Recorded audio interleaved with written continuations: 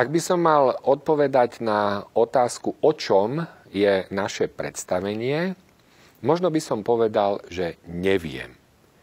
A rád by som vás pozval na toto predstavenie a po predstavení by sme si spolu sadli na dobrú kávičku, na vínečko, na niečo sladké a porozprávali by sme sa o tom. Ale teraz vážne. To predstavenie sa volá Okteto pána Gézu. To znamená, že to je spoločnosť 8 ľudí, ktorí sú donútení spolu žiť, spolu pracovať, spolu sa rozprávať, spolu existovať. Je to všetko o vzťahoch medzi týmito 8 ľuďmi. Zaujímavosťou je to, že pán Géza je deviatý člen, ktorého, teraz to prezradím, keď by som nemal, divák nikdy nespozná. Je to niekto, ktorý tú spoločnosť riadi.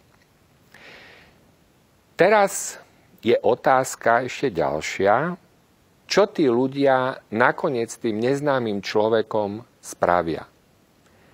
Nebudem odpovedať. Prídite sa na to sami pozrieť.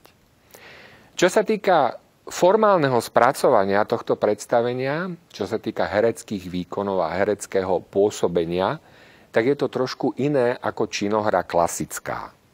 Je to postavené na pohybe, na presnom geste, na, na slove, ktoré je používané trošku ako muzika, ako hudba. Čiže nie je to ani to hovorenie, ktoré tam nie, nie je typicky reálne činoherné.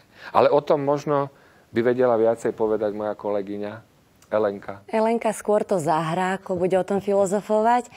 Ale pre mňa je tento spôsob práce inšpirujúci práve preto, lebo vo mňa ako v herečke, a myslím si, že to môžem hovoriť pre celý tím, posúvať tie nejaké herecké hranice, spoznávame nové dimenzie a dúfam, že to osloví aj diváka. Tá hudba tam je fantastická, takže už kvôli tomu sa oplatí tam prísť. Už samotný tento podtitul napovedá, že nebude núdza o povedzme pikantnú zábavu. Z tohto dôvodu je táto komédia prístupná až od 18 rokov.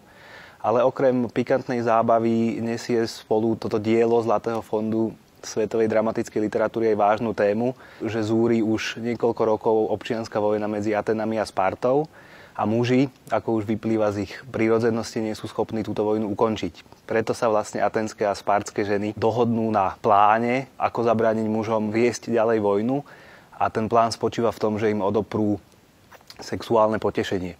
A od tohto E, základného dejového faktu sa vlastne začne odvíjať e, ďalší rad komických, ale aj tragikomických situácií, ktoré sú podstatou a korením tejto antickej komédie.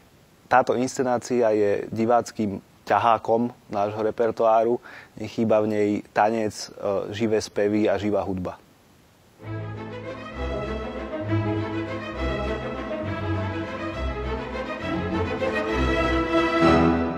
Vidím, že už si sa rozhodol. že už je všetko zbytočné. Nechcel by si ma nechať na pokoji ako tvoj otec?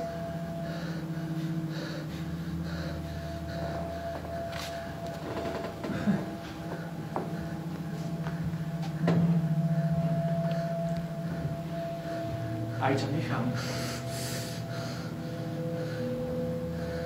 Lebo si myslím, že som ťa pochopil. Táto hra je drámou o človeku, ktorý chcel pohnúť vesmírom. To znamená o človeku, ktorý chcel dosiahnuť absolútnu slobodu a kvôli tomuto cieľu bol ochotný uh, prekročiť akékoľvek hranice, pretože chcel dokázať, že človek je absolútne, absolútne slobodný. Uh, myslím si, že je pre človeka veľmi zaujímavé sledovať, kam na tejto ceste, na tejto strastiplnej, ale aj slastiplnej ceste dospel a kam prišiel. Tá noc na mňa padá ako ľudská bolesť.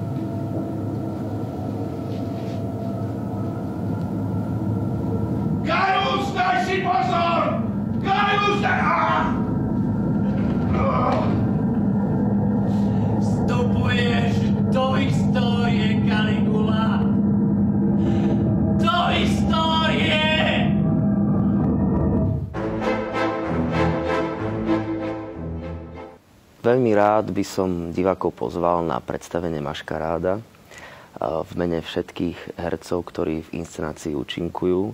Predstavenie Maškaráda je naozaj predstavením, ktoré pre každého herca nie je každodennou záležitosťou, ale je to takou odmenou za tú divadelnú prácu, že raz za čas príde aj takýto text, takáto možnosť.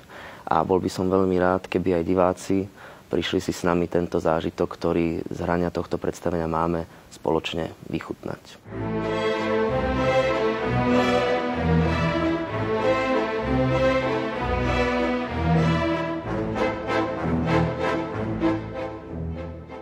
Je to vášnivá ruská dráma o láske, žiarlivosti a pomste, ktorá kladie základné otázky o zmysle ľudskej existencie, smrti, slobody, dobra a zla